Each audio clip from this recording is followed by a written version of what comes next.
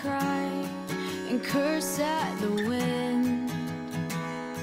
He broke his own heart, and I watched as he tried to reassemble it.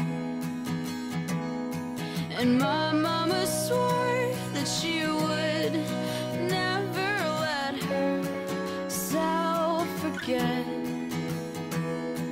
And that was the day.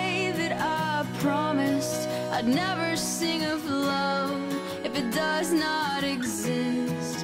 But darling, you are the only exception. You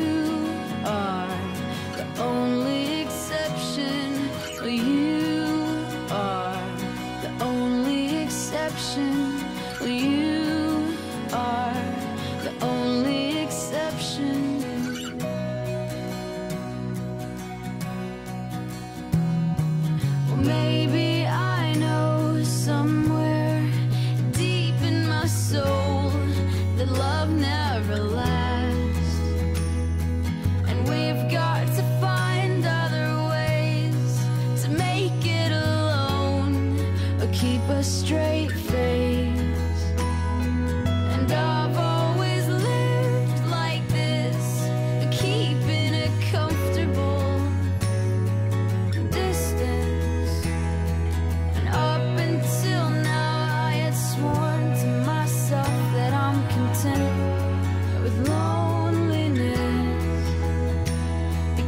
None of it was ever worth the risk. Will you?